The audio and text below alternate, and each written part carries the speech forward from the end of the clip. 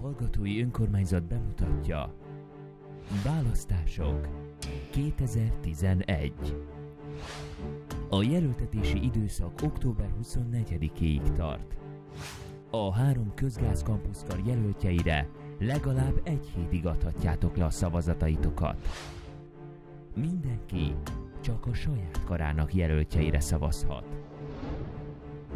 A szavazás addig tart, amíg karonként a hallgatók legalább 25%-a le nem adta a voksát. A szavazók között jegyeket sorsolunk ki a következő közgázbulikra. Legyél te a VIP vendég. Választások október 25-én a Corvinus Egyetemen.